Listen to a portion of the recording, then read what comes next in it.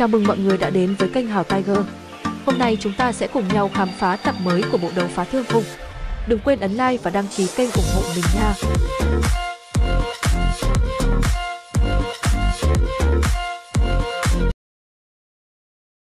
Xung quanh đã truyền đến tiếng kinh hô, bọn hắn cũng không nhận ra Thiên Lâm, lại càng không biết Thiên Lâm chính là Nguyên Vương chi tử đời thứ 13, đồng dạng hóa thành thân thể vạn trượng, hai người kịch liệt giao thủ, rất nhanh Thiên Lâm lại lần nữa rơi vào hạ phong. Ngàn năm qua này, đều là tự mình tu hành, có hết thầy, cũng là chính hắn trải qua trăm cây nghìn đắng, sửa soạn lần mò trong tu luyện mà đến, mà phong chính lại khác biệt, hắn từ nhỏ đã lớn lên trong nguyên thần nhất tộc.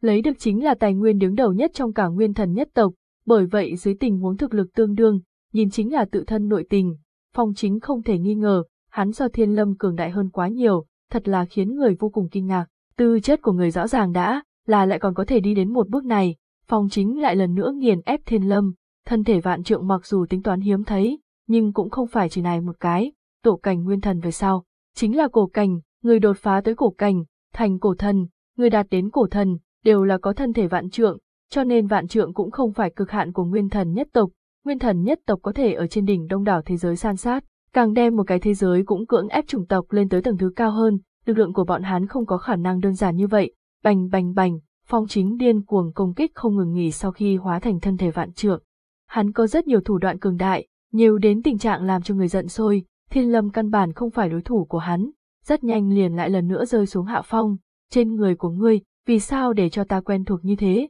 làm cho người phẫn nộ như thế. Thiên lâm mặc dù không địch lại, nhưng trong mắt của hắn tức giận chưa từng biến mất, mặc dù trên nhục thân thương thế cực nặng, hắn như cũ không có ngã xuống, vẫn còn mở miệng chất vấn phong chính, những thứ này ngươi không có tư cách biết.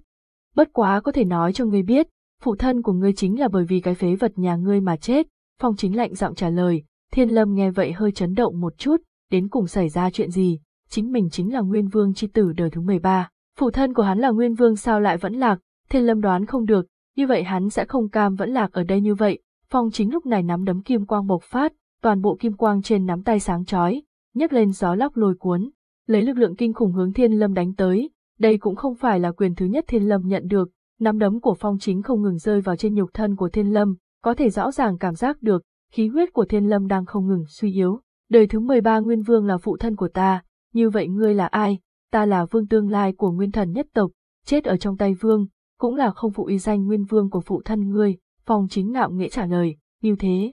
Nếu ta đưa ngươi mạt sát, có thể thay thế ngươi trở thành tân chữ vương của nguyên thần nhất tộc, thiên lâm khắp người lòi lõm, toàn thân đều là máu tươi, dù vậy, ánh mắt của hắn vẫn như cụ cứng cỏi, rõ ràng nhìn đã là cùng đồ mặt lộ, người sắp chết, còn ở chỗ này còn mơ mộng hão huyền, lại là một quyền đánh vào mặt của thiên lâm, người kia toàn bộ thân hình lui về phía sau khẽ đào, cùng lúc đó, kim quang bỗng nhiên trượt hiện, nhục thân của thiên lâm một lần nữa nổ tung, trượt kim quang tràn ngập trong hư vô kia, một cái thân ảnh càng thêm khổng lồ, chậm rãi ngưng hiện, phong chính nắm vững thắng lợi, lại một lần nữa để cho mắt hắn triệt để trợn tròn, vốn cho là vạn trượng đã là cực hạn của thiên lâm. Trong lòng của hắn nhiều nhất có thể tiếp nhận cũng chỉ có vạn trượng, nhưng cự nhân trước mắt, vừa ra khỏi ranh giới cuối cùng mà phong chính trước đó suy đoán, 10 vạn trượng, đây là hình thể của thần mới có thể đạt tới, hắn rõ ràng chỉ là một cái cổ tinh. Phong chính đang từ từ lui về phía sau, nhìn xem thiên lâm 10 vạn trượng, cùng khí huyết lực lượng nghiền ép, đã chứng minh hết thầy, một trường che khuất bầu trời hướng phía phong chính gào thét mà xuống, nhất định phải hiểu rõ, phụ thân của mình vì sao mà chết, ngay thời điểm cự trưởng sắp rơi xuống, trong một ngôi sao, số đạo hàn quang ầm ầm bay ra, sau đó một đạo cùng lực lượng cự trưởng của thiên lâm ngang nhau, trong chớp mắt ngưng tụ, làm cho thân thể thiên lâm mười vạn trượng cuồn cuộn bỗng nhiên chấn động, việc này có thể dừng lại, không nghĩ tới Trác Vương chi tử, có thể trưởng thành đến tình trạng như thế, vốn cho rằng, ngươi sớm đã vẫn lạc, hôm nay cũng coi như quay về gia tộc, tư chất càng là độ cao như vậy, trở về gia tộc cũng có thể phong người vị trí chữ vương, được chứ, thân ảnh lướt đi không chỉ một đạo, mà là chọn vẹn chín đạo, chín lão thất phu chết tiệt, nếu không phải bọn hắn phản bội ta, làm sao vẫn lạc? Ta làm sao vẫn lạc? Tiêu viêm nhìn từng màn trước mắt giống như chân thực, bên tai truyền đến thanh âm trầm thấp, nghĩ đến là tiêu viêm lúc trước nhìn thấy đạo thanh em khổng lồ truyền ra, nghe lời nói, có thể đoán được, tiêu viêm nhìn thấy hẳn là nguyên vương đời thứ 13, hát ta ha, quay về gia tộc, một mình ta còn rời mà thôi, chỉ là trùng hợp chảy nguyên thần chi huyết, ta tới đây không phải yêu thích cái phá gia tộc này, liền muốn làm rõ ràng phụ thân của ta vì sao vứt bỏ ta, phụ thân của ta lại vì sao mà chết, thiên lâm phát ra cười như điên, không bị trói buộc trong mang theo một chút điên cuồng. Câu trả lời này cũng làm cho chín thân ảnh lâm vào ngắn ngủi trầm mặc, người tuy là chắc vương chi tử, nhưng cái nguyên thần nhất tộc này cũng không phải các ngươi có thể lỗ mãng, chúng ta tùy thời có thể xuất thủ mà sát ngươi, một người trong số chín thân ảnh quát mắng một tiếng, mang theo uy nghiêm không thể ngộ nghịch, tốt ngô lão quỷ ngươi. Lão tử sau khi chết lại dám cản rỡ như thế, âm thanh lại lần nữa truyền ra, tiêu viêm tự hồ cũng có thể cảm giác được hắn ẩn chứa nộ khí, đây cũng là nguyên thân nhất tộc à, muốn giết cứ giết, lấy ở đâu nói nhảm nhiều như vậy.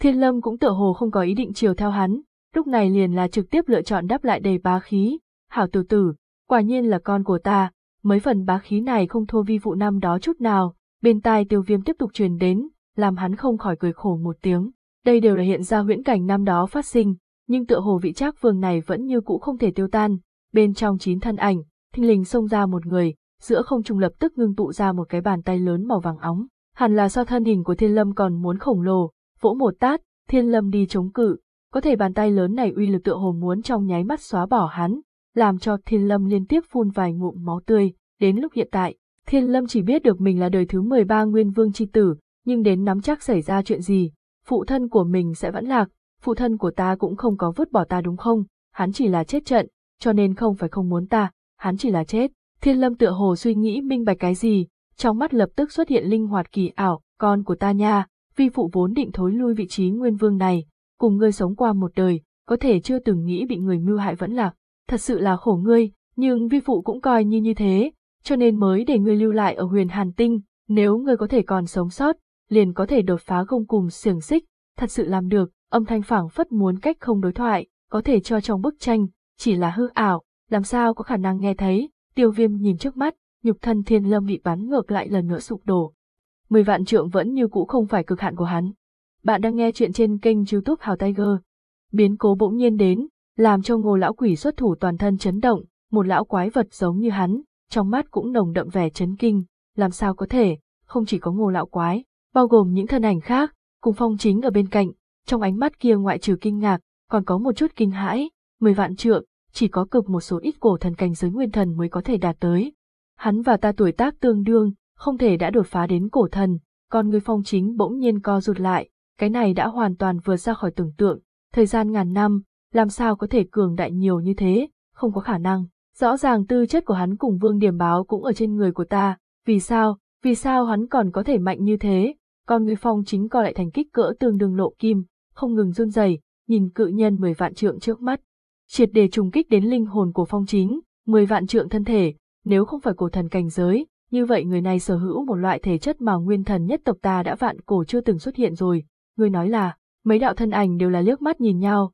đều tự hồ nghĩ tới cái gì, lập tức cũng mở to hai mắt, viễn cổ nhục thân, siêu cự nguyên thần, siêu cự nguyên thần, nếu như vô cùng lớn, cũng không chỉ 10 vạn trượng này, siêu cự nguyên thần đã biến mất lâu như thế. Người này có lẽ là che giấu thực lực, rất không có khả năng là viễn cổ thể chất trong truyền thuyết, bất quá coi như kẻ này không phải siêu cự nguyên thần, hiện tại xem ra, tư chất của hắn chỉ sợ so với phong chính không thể yếu hơn, thậm chí khả năng còn mạnh hơn một điểm, nếu như đem mạt sát, đối với nguyên thần nhất tộc mà nói ngược lại là đáng tiếc, thiên tư cao hơn lại để làm gì, người này không dễ khống chế, cưỡng ép lưu ở trong tộc sợ thành tai họa, chín bóng người, đều là ánh mắt phức tạp, tựa hồ đều có suy nghĩ riêng, sau khi đối thoại một phen, nếu như cẩn thận phán đoán, nếu phán đoán cẩn thận, đại bộ phận cũng không nguyện lưu thiên lâm lại, vậy nhanh chóng đuổi hắn ly khai, chậm đã, cái này chỉ có thiên tuế, vẹn vẹn thiên tuế liền có thể đạt tới tình trạng như thế, hắn nhưng là đời thứ 13 nguyên vương chi tử, chư vị, để cho hắn ly khai, sợ ủ thành tai họa, cho nên, hoặc là đem lưu lại, khống chế trong tay của nguyên thần nhất tộc, hoặc là, đem hắn giết chết. Chín bóng người ngẩng đầu nhìn xem mười vạn trượng thân thể, đều là ánh mắt phức tạp, tựa như trong nội tâm có chút suy nghĩ riêng, chín lão thất phu chết tiệt này, vậy mà đối với một cái hài từ hạ thủ, âm thanh của Trác Vương cùng lúc tại vang dội bên tai Tiêu Viêm. Tiêu Viêm cười khổ một tiếng, ngược lại là đối với hắn nói, thiên tuế lão quái cùng hắn vạn tuế lão quái như vậy so sánh, tựa hồ cũng coi là một đứa bé, ngươi thật sự không nguyện trở về gia tộc, trong đó một thân ảnh lại lần nữa trầm giọng hỏi, chỉ có người này trong ánh mắt mang theo một vòng hòa thuận, nhưng cũng không phải là quá nhiều, trước đó, ta chỉ muốn làm rõ, phụ thân của ta là như thế nào tử chiến, tử chiến ở nơi nào, vì sao tử chiến, thân hình mười vạn trượng to lớn truyền ra thành âm trầm thấp, phong chính sớm đã tránh lui về phía sau, thối lui đến địa phương cách chín bóng người này không xa, đời thứ 13 Nguyên Vương vẫn lạc, chúng ta cũng người phần bi thống, bớt nói nhảm, nguyện liền nguyện, không nguyện liền không nguyện, thật đúng là đem mình coi thành một nhân vật rồi, nếu như ngươi không nguyện, nhất định phải gánh chịu hậu quả tương ứng, nguyện hay là không nguyện, ngô lão quỷ lớn tiếng quát, mảy may không lưu bất luận cái thể diện gì, tựa hồ trong mắt hắn, mười vạn trượng cũng không thể coi là cái sự tình ghê gớm gì, lão tử, không nguyện, trượt truyền ra trả lời, làm cho ngô lão quỷ cũng tốt, cái khác mấy đạo thân ảnh cũng được, toàn bộ đều là chấn động. Ngươi nhưng có biết chúng ta là kẻ nào, tiểu bối, cùng bọn ta nói chuyện như vậy, đặt ở toàn bộ thương mang đều không có mấy người dám, trong chín bóng người, lập tức một tiếng hử lạnh truyền ra, lạnh lùng nói, ngược lại là hồi lâu không có bị người bất kính qua như vậy, thì tính sao, nguyên thần nhất tộc cuối cùng rồi sẽ hủy diệt, mười vạn trượng thân ảnh to lớn vẫn không bị chấn nhiếp, vẫn là lấy ngữ khí cuồng ngạo truyền ra, chín bóng người nhớ mày, chảy nguyên thần huyết mạch, tuy nói người không có ở trong tộc lớn lên, nhưng cũng không nên nói xuất hiện lời nói ngũ nghịch như thế, người đã chấp mê bất ngộ, nhất định phải đem cục diện đẩy hướng biển lửa, như vậy hôm nay chúng ta sẽ thu hồi nguyên thần huyết mạch của người. Vừa nói ra, ngô lão quỷ đứng mũi chịu sào, hướng phía 10 vạn trượng thiên lâm chính là đưa tay vỗ, một cái cự trưởng mênh mông hẳn là có thể bao phủ thân hình 10 vạn trượng của thiên lâm, bành bành bành, nhục thân thiên lâm nhanh chóng sụp đổ. Mặc dù hắn cũng vung ra nắm đấm đối đầu, nhưng trên lệch cực lớn không cách nào bù đắp, hạng người cuồng vọng, coi như người là chắc vương chi tử, hôm nay cũng là khó thoát khỏi cái chết, chỉ thấy nhục thân của thiên lâm không ngừng nổ tung sụp đổ. Chi uy một trưởng này liền không phải hắn có thể tiếp nhận, mặc dù có 10 vạn trượng nhục thân, có thể cuối cùng không địch lại những lão quái này, vô lão quỷ lại cách không bóp một cái, thiên lâm lập tức bị áp lực vô hình bao phủ. Huyết nhục nổ tung, diện mạo cực kỳ thê thảm, giết cũng tốt, vạn nhất kẻ này biết được phụ thân hắn, mặc dù kẻ này thiên tư cực cao, nhưng không cách nào khống chế, tốt nhất diệt trừ sạch sẽ, chín bóng người tại một phen suy tư về sau, rất nhanh liền thống nhất ý kiến, mặc dù có một số ít không cho là như vậy, nhưng cục diện bây giờ tựa hồ đã không cho phép cải biến, nguyên thần nhất tộc, đều đáng chết, lâm thiên máu me khắp người lại lần nữa bộc phát ra một tiếng nộ hóng kinh thiên, tiếng gầm lên giận dữ này, hẳn là để cho thân hình chín bóng người đều lui về phía sau, khí huyết cuồn cuộn, nhục thân của của thiên lâm kim quang gào thét, hẳn là vẫn còn bành trướng, còn người chín bóng người đều co rụt lại, bởi vì vừa rồi lâm thiên một tiếng nộ hống kinh thiên, cũng không phải tại trên thực lực chấn nhiếp bọn hắn, mà là tới từ đồng tộc nguyên thần chi huyết chấn nhiếp, phảng phất, tiếng gầm lên giận dữ này, giống như đang nói trong nguyên thần nhất tộc.